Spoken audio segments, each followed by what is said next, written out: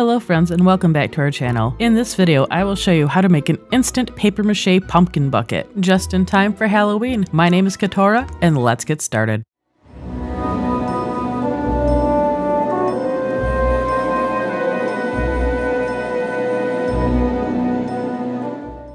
Before we jump into the project, here's everything you need if you are playing along at home. This project starts off with a classic plastic pumpkin bucket for the base. Off camera, I have drawn the basic shape of the owl on the bucket, so I have a roadmap when I am sculpting the owl out of tinfoil. I have found the best way to sculpt with tinfoil is to roll it into little snakes and use masking tape to hold it in place.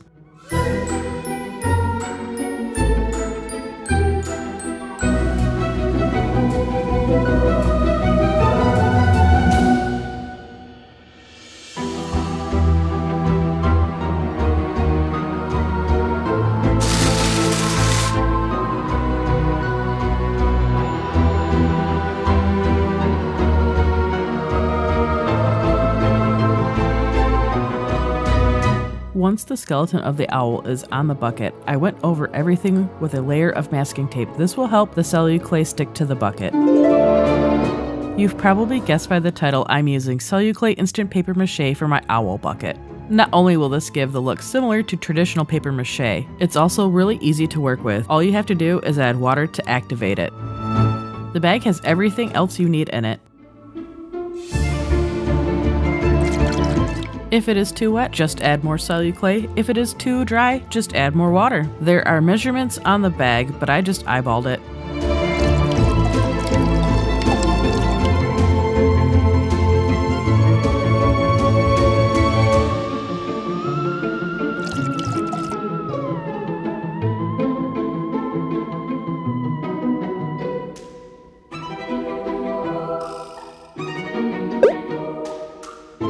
You can use regular sculpting tools to apply the clay to the bucket. I have seen other paper mache artists use butter knives and silicone spatulas and they work great. Plus your hands work really well too.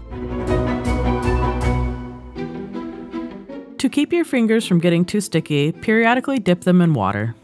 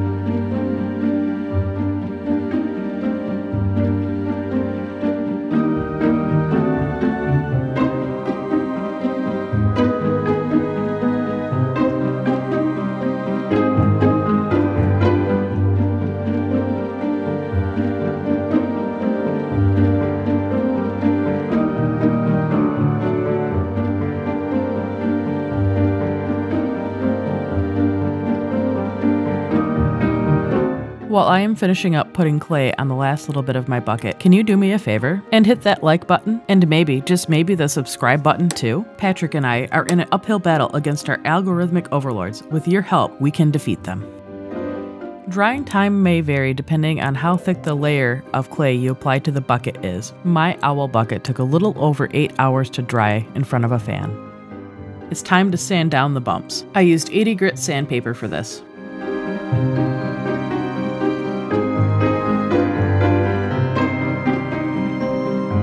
Now that everything is sanded, I prep the surface with two coats of gesso.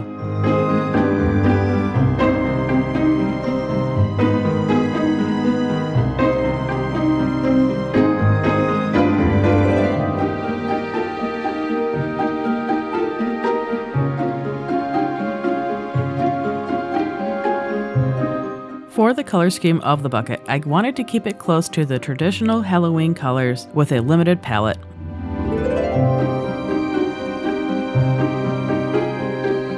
To paint the owl bucket, I started out by blocking out all the colors.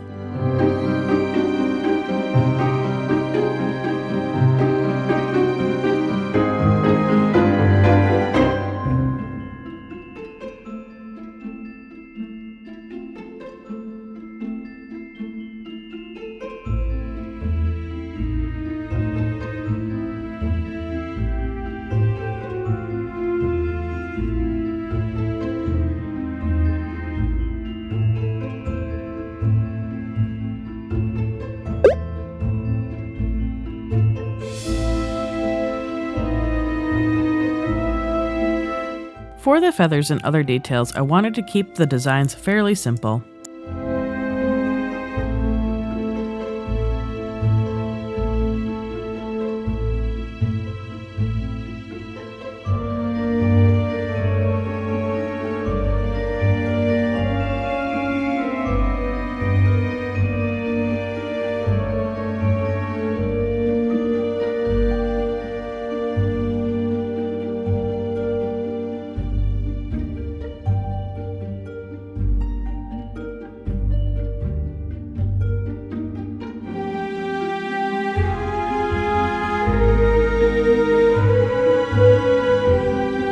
I would like to thank you again for watching this video, and I hope it has inspired you to go out and create something of your own. My name is Ketturah, and I will see you next time.